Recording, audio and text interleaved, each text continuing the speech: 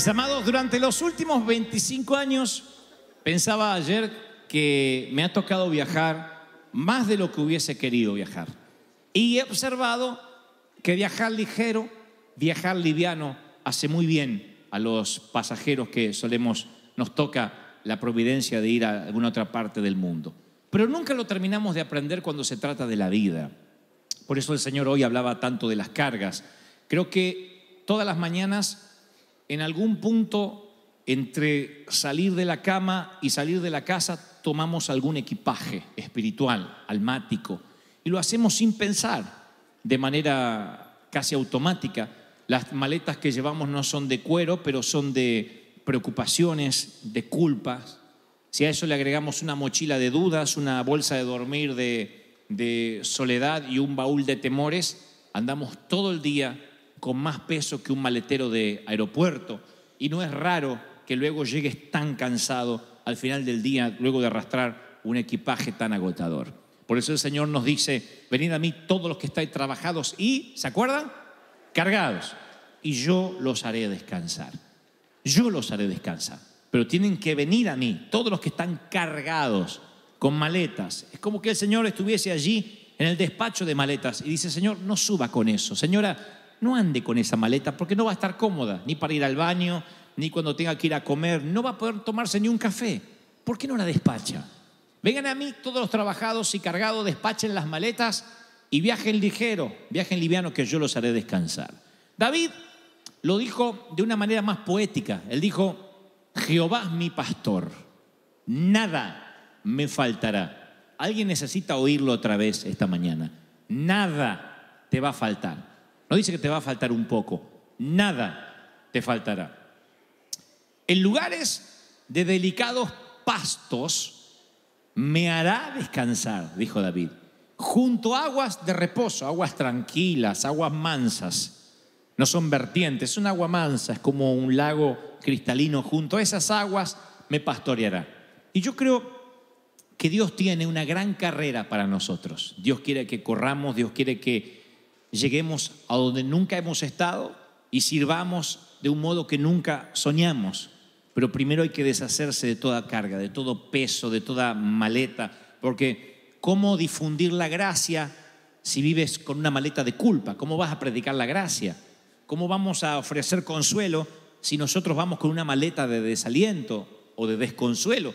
¿Cómo vamos a levantar la carga de otros si ya bastante tenemos con nuestras propias maletas? Y el Señor me dice esta mañana que te diga que por amor a los que amas tienes que viajar liviano. ¿Dicen amén o no? Por amor al Dios que sirves, tienes que viajar liviano. Por amor a no perder tu gozo, tienes la obligación moral y espiritual de viajar liviano. Porque de otro modo el cansancio extremo empieza a cobrarse una víctima. El sobrepeso ocasiona cansancio. Pero ese no es el problema. El problema no es que se nos canse la mente, sino también que se nos canse el alma. Porque cuando se nos cansa el alma, trae un agotamiento que termina eh, achicando nuestra relación con Dios, termina afectando nuestra espiritualidad. Nosotros somos la única criatura viviente, y hay, hay dos, son dos criaturas vivientes a las cuales estamos en esta tierra que nos cuesta dormir, que no podemos descansar fácilmente. No los perros, porque dormitan a toda hora, no los osos, porque hibernan, no las marmotas, porque duermen 20 horas diarias. Alguien pensó en algún familiar, pero es una marmota. Hay otro animal aparte de nosotros que no sabe descansar, y les doy una pista, son criaturas lanudas, lentas y de poca inteligencia. ¿Alguien pensó en el esposo? No estoy hablando del marido, estoy hablando de la oveja. Lentas, lanudas y de poca inteligencia. Porque para que una oveja duerma bien, tiene que todo estar bien a su alrededor, todo su entorno. No tiene que haber depredadores cerca, no tiene que haber aullidos de lobos, porque el clima tenso hace que no puedan dormir. Por algo el Señor nos compara con ovejas y no con dragones, ¿no? Ahora, las ovejas por sí mismas no pueden buscar delicados pastos, no, las, no los encuentran no pueden tratar las fricciones con otras ovejas. No hay una oveja líder que diga, muchachas, no peleen que después no puedo dormir. No hay. No puede rociar insecticida, no puede buscarse alimento. Necesita un pastor que la ayude a descansar en delicados pastos. Necesita un pastor. Sin un pastor no puede dormir la oveja. Por eso la Biblia dice en Isaías, tú guardarás en completa paz. Qué maravillosa palabra aquel cuyo pensamiento en ti persevera. Aquel que tiene el pensamiento y la tranquilidad de que el pastor está con él, entonces el Señor lo guarda en perfecta paz. Quita los insectos, quita las fricciones del redil, no hay aullidos de lobos nocturnos, no tienes miedo, no tienes una sensación de hambre, no tienes temor, porque el pastor te guarda en perfecta paz. Y David, que sabía de pasturas, que sabía de pastores, que sabía de ovejas, escribe el magnífico salmo donde dice, el Señor es mi pastor, nada me faltará y Él me va a llevar a delicados pastos. Lo que pasa es que si uno no tiene la concepción del descanso, de la paz del Espíritu Santo, aunque duermas ocho horas, te vas a levantar cansado otra vez. Entonces cuando uno toma decisiones en la vida estando cansado de manera crónica, se empieza a equivocar. Elegimos personas incorrectas, nos hacemos amigos de quien no debemos, nos buscamos un cónyuge que no debemos, eh, le, eh, gritamos al hijo cuando no debimos haberle gritado, nos cambiamos de iglesia, abandonamos el empleo, tomamos una decisión que nos afecta. ¿Por qué? Porque estamos cansados y porque no vamos a los delicados pastos. Quizá por eso el Señor, de todo el decálogo escrito en piedra, de los diez mandamientos, el énfasis más grande es al día de reposo. En seis días Jehová hizo los cielos y la tierra y el mar y todo lo que hay. Y el séptimo día Jehová descansó y bendijo el día de reposo y lo santificó. Dios nos conoce bien. Vas a dedicarle seis días a trabajar y un día al culto. Lo que dice Dios es, si la creación no sucumbió cuando yo descansé, tampoco tu vida, ni tu negocio, ni tu familia va a sucumbir porque te tomes un día de descanso. Y acá no vamos a hacer énfasis si es sábado, si es domingo, es decir, hay un día que tengo que dedicarle al Señor, es el día que tengo para dedicarle al Señor. Cuando te levantas el domingo, dices, Señor, este es el día que yo voy a dedicártelo a ti. Voy a dedicártelo a ti como sea. Y si cuando salgo de la iglesia me encuentro a alguien con necesidad, le voy a predicar porque es el día que ya dediqué para ti. El Señor dice, yo lo santifiqué, necesito que valores los pastos verdes. Los pastos verdes no eran el paisaje natural de Judea. Las colinas donde David pastoreaba no eran fértiles, no eran verdes. Hasta el día de hoy son desérticas. Los pastos verdes en Judea es el trabajo de algunos pastores de cultivo, de regar y de hacer que haya esos pastos en medio del desierto para sus ovejas. Y el Señor preparó una pradera para el alma. Son pastos que tú no cultivaste, que yo no cultivé, que no nos merecemos, son pastos de misericordia, es una tierra que verdea gracia, una tierra que Dios dice, no la estás usando, yo quiero que descanses, que no te preocupes, que la preocupación no te robe los pastos verdes. Alguien necesita oír esto esta mañana, que la preocupación no te robe los pastos verdes. Liliana se fue a hacer una ecografía estando embarazada creo que si no me equivoco, de Megan. Y como ella ya tenía cierta edad, aquí cuando te embarazas más de los 35 ya te dicen que estás en edad de riesgo. Y que todo puede salir mal, que puede venir con un síndrome, que puede estar muerto el feto. ustedes saben lo delicado y sutiles que son los médicos aquí. Así que nos fuimos a hacer una ecografía y mientras que hacía la eco, quien la hacía, que es una enfermera que no puede dar información, hizo Por ahí estaba estreñida de vientre, como digo. Por ahí se le cruzó un gas mental, pero no. yo dije, pasa algo, el médico después les va a decir. Pero pasa algo, dígame, está todo bien, no le puedo decir, el médico le va a decir. Sí, pero, pero no me puede dar un ok, el médico le va a decir. Así que van, vienen, van, y regresa y dice, mire, si a ver cómo entienden este mensaje. Si está todo bien, no los vamos a llamar. Si vemos una anomalía o algo malo, denme un teléfono que los vamos a llamar.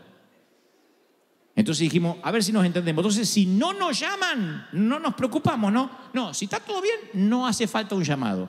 Si vemos algo grave, insiste, y dice la palabra grave, los vamos a llamar. Así que a partir de ese momento, ¿qué hace la preocupación? Mirar el teléfono así. Eso hace la preocupación.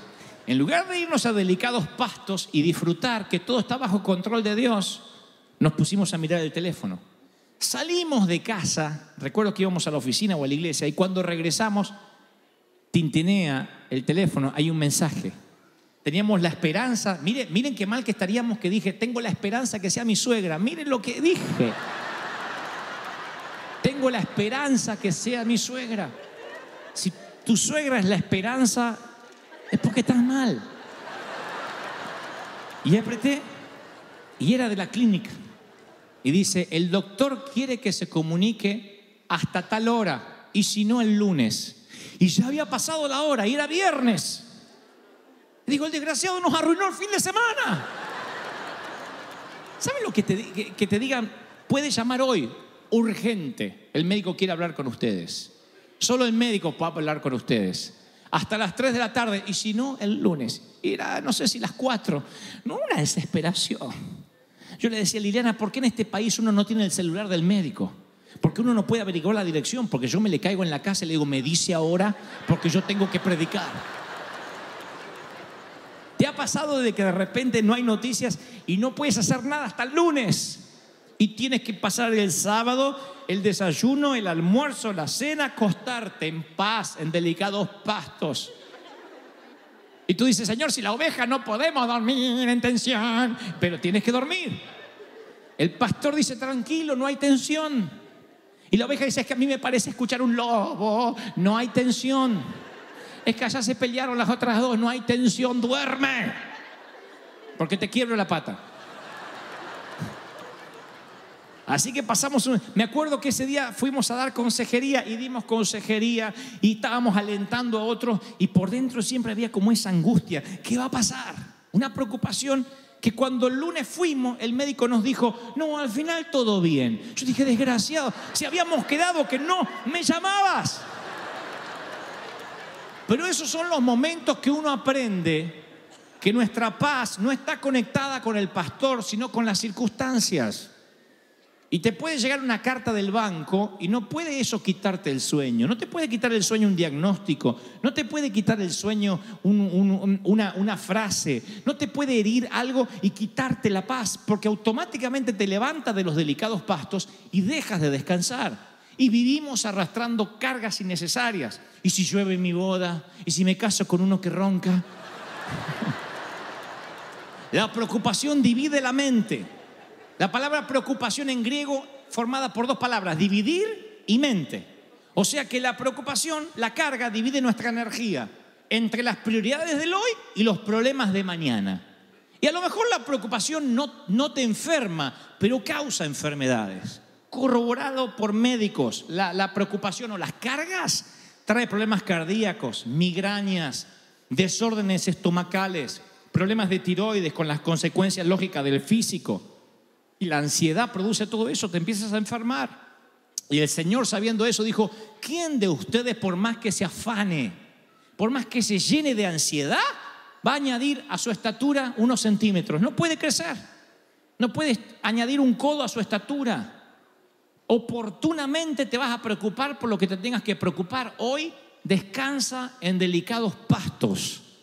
Cuando yo viajo con mis hijos, y esencialmente los más chiquitos, yo llevo los boletos del avión, o los boletos del parque, o las entradas del cine, las tengo yo. Y cuando les toca entrar, yo me paro entre la persona que recibe el boleto y mi hijo. Ahí se lo entrego. Mi hijo siente que es grande, tiene, tiene seis, pero agarra el boleto y lo entrega a él. Es la única responsabilidad que yo le doy, recibir el boleto y entregarlo. No me, no me, no me atrevo a dárselo 15 minutos antes porque se lo perdí y nos arruinó a todos. Entonces yo qué hago? Él me dice, me das mi boleto, me das mi boleto cuando estemos ahí. Me das mi boleto que lo quiero tener cuando estemos ahí. Ni a mi esposa, ¿eh? porque mi esposa también me dice, lo perdí. Entonces digo, allá. Y cuando estamos ahí en la puerta, ah, mi señora, ah, los chiquitos, el boleto pasan todo eso y yo corto los taloncitos y me los guardo. Lo mismo que hago yo con mi familia, hace el Señor con nosotros. Cada uno recibe su billete en el momento oportuno. ¿No es acaso lo que Él le dijo a los discípulos? Cuando los entreguen, no se preocupen por lo que lo vayan a decir, ni lo piensen, no se estudien nada. Todo va a ser dado en aquella hora, eso hablen, porque eh, no soy ustedes, no son ustedes los que hablan, sino el Espíritu Santo. Marcos 13, 11. ¿No es lo que Dios le dijo a Israel? Prometió maná día por día.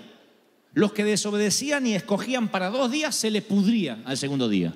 Excepto el viernes, que podían recoger doble porque el sábado descansaba, todos tenían la provisión para el día. Así que no os afanéis por el día de mañana, porque el día de mañana traerá su propia ansiedad, su propio afán. Y, esta palabra, esta frase no es menor. Basta cada día su propio mal. Basta a cada día su propio mal. O sea, no sé qué voy a hacer si mi esposo muere, lo vas a saber en el momento oportuno. No sé qué, haría yo, no, no soportaría si no voy a soportar cuando mis hijos se vayan. Vas a saber cómo soportarlo cuando te entreguen el boleto, en el momento oportuno. Y el Señor dice, come el maná de hoy. Mañana es lunes, habrá maná para el lunes. Come el maná de hoy. No te preocupes por el lunes, ni por lo que va a pasar en junio. La mayoría de las cosas que te preocupan nunca van a suceder. Y la vida es demasiado corta para que vivas preocupado, con maletas, con bolsos. Espera llegar a la puerta del avión y el Señor te da el boleto. Si hay gente acá que, podría decirme, yo no soportaría si perdiera un ser querido. Sin embargo, han pasado por ese trance y dice, no sé de dónde me vino las fuerzas. Cuando estuviste ahí, vino el boleto de la fuerza del Espíritu Santo. Cuando tuviste que pasar la crisis financiera, vino el boleto de la paciencia y la perseverancia. Y pasaste. ¿Para qué preocuparte antes? ¿Para qué amargarte antes? Tira el morral tira la carga y dile, Señor, yo vine a la iglesia hoy para viajar liviano, para irme tranquilo. Mañana Dios te va a bendecir. Mañana Dios va a abrir esa puerta que hoy está cerrada. Mañana llegará el dinero para pagar esa deuda que hoy no puedes pagar. Pero el Señor me dice que te diga, no pongas tu energía en mañana, sino en lo que yo tengo para hoy. ¿Cuántos están conmigo? Dígame, amén. Te estás perdiendo la bendición. Te estás perdiendo un día maravilloso por estar pensando en mañana. Dile, Señor, yo voy a descansar. Yo voy a dedicar mi día a tirarme en los pastos verdes. ¿Tienen ustedes un sillón en casa, una silla favorita o un lugar en el suelo, aunque sea que digan, ese es mi lugar favorito, ahí me voy, me tiro y no me importa el mundo? ¿Tienen ese lugar, sí o no? Si no, deberían buscarlo. Un lugar. No tiene que ser lujoso, tu lugar, tu rincón donde digas, acá me relajo hasta que venga Cristo. Y cuando se escuchen las trompetas, voy a pedir que el Señor me, me lleve así en pijama al cielo, para que no me tenga que cambiar. Eso es el descansar en el Señor. No puedo hacer nada, confiemos en Él. Hay madrugadas que te has despertado pensando en que tenías una enfermedad. Hay madrugadas que te has despertado diciendo, ¿qué voy a hacer con mis hijos? ¿Cómo voy a poder pagar? Y desde las 3 de la mañana hasta las 6, 7 que sonó el despertador, no pudiste dormir más. Y cuando el Señor trajo la bendición y te bendijo, el único reclamo que el Señor tiene para ti es, ¿por qué no dormiste, Sonso? ¿Por qué no descansaste? En esos dos días, desde la ecografía hasta que el médico dijo, está todo bien, ¿por qué nos preocupamos? ¿Por qué dejamos de dormir? ¿Por qué dormimos poco? ¿Por qué nos sobresaltamos? Todo está bien, todo está bajo control cuando el Señor ha preparado delicados pastos para que tú descanses. El Señor quitará la tensión del redil, los insectos, los lobos, te quitará el hambre del estómago y dirá, recuéstate sobre mis pastos para descansar. ¿Cuántos hoy necesitan esta palabra esta mañana? Dice el Señor, yo necesito descansar. Amado Señor, necesito descansar. ¿Pueden ser honestos y decir cuánto necesitan descansar el alma? No, no, no, no el físico, por eso se resuelve con sueño los que dicen necesito descansar el alma. Dice, necesito descansar. Miren que el cansancio te avejenta, ¿eh? ¿Escucharon, hermanas? El, el cansancio avejenta, el cansancio del alma te entristece, te arruga. Y no son las arrugas naturales que vamos teniendo los que tenemos edad, sino que son arrugas prematuras que no tendrían que estar. Canas que no tendrían que estar. Dolor en el hueso, en los huesos que no tendrían que estar. Somatiza tu cuerpo cuando el alma está cansada. Había una canción vieja cuando yo era chico que decía, alma cansada, no desesperes, espera en Dios. Alma cansada. A los que tienen el alma cansada, porque desde aquel funeral nunca pudiste reponerte, porque a partir de ese divorcio la vida no te dio tregua, porque a partir de esa crisis financiera tu mundo tal como lo conocías colapsó y nunca más pudiste repararte, reponerte y tuviste que continuar. Aquellos que la niñez se les arruinó, alguien hizo perder tu inocencia porque tuviste que trabajar desde joven o te embarazaste jovencita y pudiendo jugar con Barbies, estabas cambiando pañales. Entonces la vida no te dio tregua, no pudiste ser niña y ya fuiste mujer. Y hoy te encuentras diciendo, sabes, estoy cansado, hubiese querido jugar más, estoy cansada. Estoy cansada de ser señora, de ser el señor de la casa, cansado de proveer para mi familia. Voy a seguir haciéndolo, pero me siento cansado. El Señor dice, ¿cómo no te voy a entender? si preparé delicados pastos y nunca te recuestas, si preparé arroyos, aguas mansas, para que sientas el ruidito del agua y te duermas hasta mañana, duerme, porque mientras que descanses, si alguien se atreve a acercarse a mis ovejas, se las va a ver conmigo, fuera oso, fuera león, nadie toca mis ovejas, y menos cuando duermen, dice el Señor, y menos cuando descansan, y menos cuando están en mis delicados pastos. ¿Cuántos reciben esa palabra? Dígame amén. Yo te voy a cuidar, yo te voy a proteger, dice el Espíritu, pero necesito que confíes en mi descanso, relájate, relájate, no hay nada que puedas hacer, no está en tu control. No puedes ni echar insecticida, no puedes comer por ti mismo, no puedes buscar pastos, no puedes encontrar agua, no haces nada, eres oveja. ¿Qué más? Mira a tu pastor, tu pastor te llevará delicados pastos. Tu pastor no te dejará faltar nada. Es la palabra que el Señor me dio para ti esta mañana. Descansa. No te afanes. No te preocupes. Mami, hay mamis que necesitan oír esto. No te afanes. No te preocupes. Tu hijo está en mis manos. Tus hijos son míos. Me los entregaste. Yo los voy a cuidar. Y tarde o temprano serán míos nada malo les va a pasar porque me los diste y yo cuido el descanso de mis ovejas. No temas por tu compañía, no temas por tu empresa, porque estás tan, trabaja, haz lo tuyo, esfuérzate. Pero yo haré que prospere, dice el Señor. Yo pondré mi mano. Eres fiel en los diezmos, eres un dador, te voy a bendecir. Descuida. Es que me dijeron que voy a quebrar. No escuches a nadie. Shh tírate en los verdes pastos. Vamos a tirarnos los verdes pastos esta mañana. Con la panza arriba, así como ovejas vagas. Amén. Digan, amén. Y se tiran en los verdes pastos y dejan que el Señor los mime. No hay nada para hacer. El maná cae del cielo. No puedes hacer que baje. No le dijo Dios y orarán cada mañana. No, el maná vendrá. Sal a recogerlo. Yo te cuido es gracia. Es gracia inmerecida. ¡Wow! Reciban. Beban, diga Señor, este es el Dios maravilloso, es tu espíritu.